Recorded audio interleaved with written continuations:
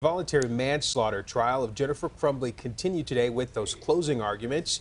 Before lunch, the prosecution finished a cross examination of Jennifer Crumbley and the defense rested. Just now, the defense wrapped their closing, but the jury won't start deliberating until after the weekend. Andres Gutierrez has been following the trial all day for us. He joins us now outside of the Oakland County Circuit Court in Pontiac with a recap of the day. Andres? Terrence, the style of how each side closed was quite a contrast. The prosecution precise and concise on how they presented the testimony to the jury. They recapped it. The defense, on the other hand, well, she inserted herself throughout her closing arguments. Let's go ahead and recap. Oakland County Prosecutor Karen McDonald, in her closing arguments that lasted just over an hour, stressed that parents have a legal duty to control their kids and prevent from harming others. McDonald pointed out that even before the shooting, Jennifer Was saying that she felt that she had failed as a parent, telling her boss that she needed to get her son counseling. But then in court, when she was on the witness stand, she didn't think that she was a failure. Then McDonald threw up a PowerPoint slide showing the conflicting stories of what Crumbley knew before and after the shooting. And McDonald also emphasized that this wasn't about the school doing everything right, but instead what Crumbley did or didn't do to prevent mass murder.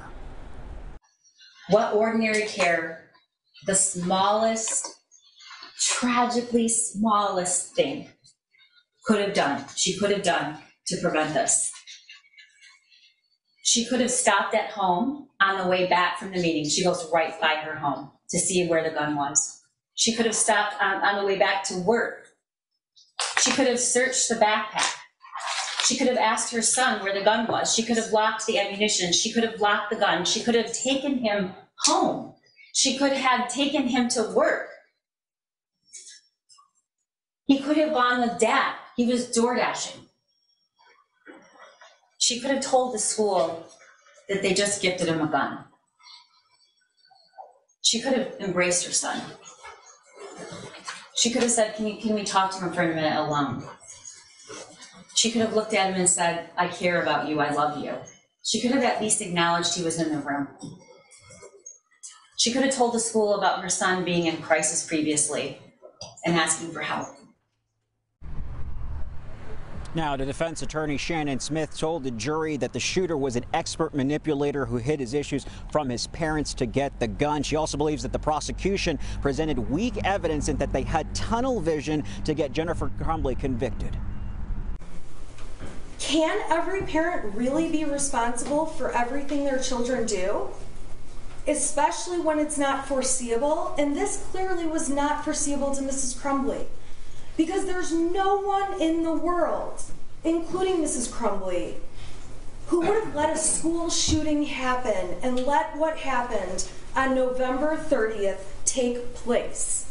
Not only ruining the lives of so many families and victims and taking the lives of four young people, but also ruining her own son's life and ripping his life right from her as well she would be the first person on the planet who would have never let that happen in a million years.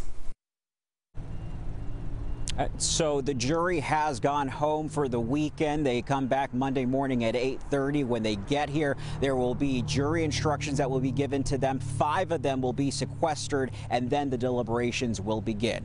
Reporting live in Pontiac tonight, Andres Gutierrez, CBS News, Detroit. Andres, thank you. Thank you so much, Andres. And we continue our discussion with attorneys Rick Convertino and Terry Johnson, who, have been here all day um, as we heard closing arguments from both sides.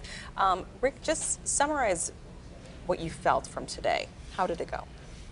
Well, the, the 30 second uh, clip of the closing by um, the defense attorney here, uh, uh, the sliver of, of it excluded about um, almost a half an hour of buffoonery.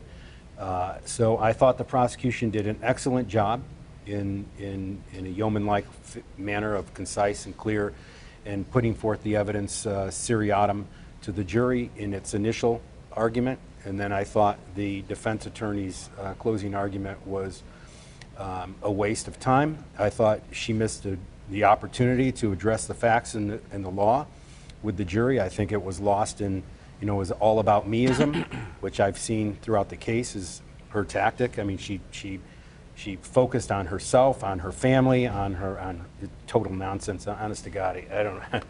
I've never seen anything like it in 34 years of practicing law, and I hope I never see anything like it again. The rebuttal uh, by Ms. McDonald, I thought was was uh, good, straightforward. She brought the emotion uh, out and, and the passion out that we talked about would probably happen in the rebuttal. So I think she did a good job of um, of, of, of, addressing some of the nonsense and then uh, and then refocusing the case uh, on where it belonged, um, on the defendant, on, on on the shooter, and and I think uh, she brought a sense of ethos in with talking about the victims and the police officers and their integrity. And I think I think all in all, um, this case is um, clearly, in my estimation, going to return a, a guilty verdict on all four counts. Wow. And We'll be waiting to see. Uh, and I feel a lot of people agree with you. The defense, with her closing arguments, Terry, it, it almost fell flat. It seemed like she was trying to humanize her in a way and say she makes mistakes just like we all do, as you mentioned it before, but it was bizarre. You know, you can say my client's human. We all make mistakes. You make them, I make them. But to go into the mistakes that you make, to talk about the things that were talked about, to bring your own family in and call your own. I mean, imagine her children who may or may not be watching this.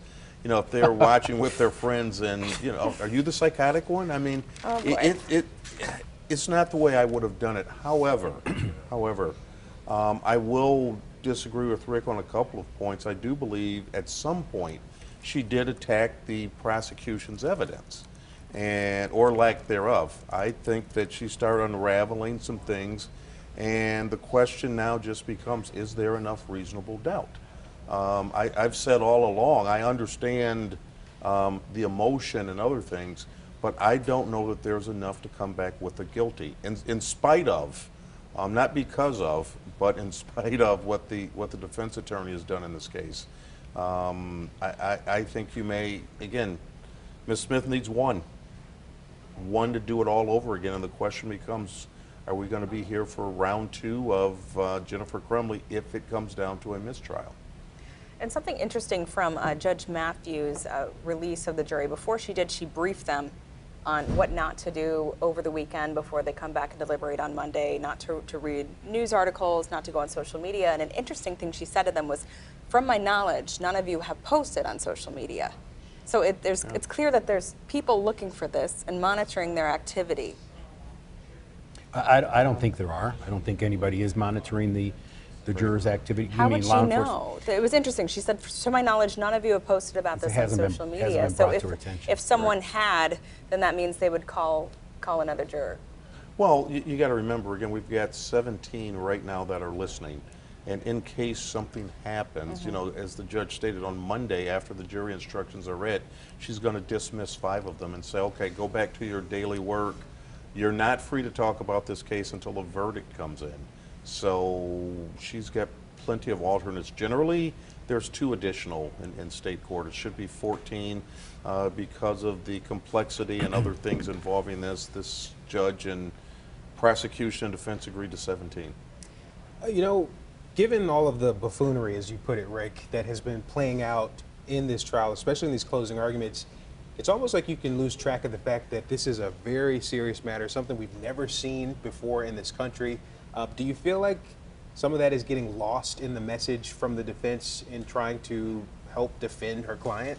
Oh, absolutely. I think, I think the, the uh, gravamen of this case uh, and the importance of the case in, in, in notwithstanding the, the, the spotlight that's put on it is, is incredible. And, and I think there was a lot of unpreparedness. There was uh, um, not a lot of seriousness put into and, and diligence put into the opening. You know, we heard about Taylor Swift and uh, some other nonsense, and then in the closing, I mean, I, I mean, seriously, um, if I were sitting there and my lawyer got up and started to talk about, you know, her son texting his uh, body parts and her daughter's a psycho and she wouldn't buy soda because, you know, she doesn't take showers and I mean, it's it's incredible to over to overuse another overused word by lawyers. You know, it's really it's outrageous. You know, that's the, that's the word that applies to it.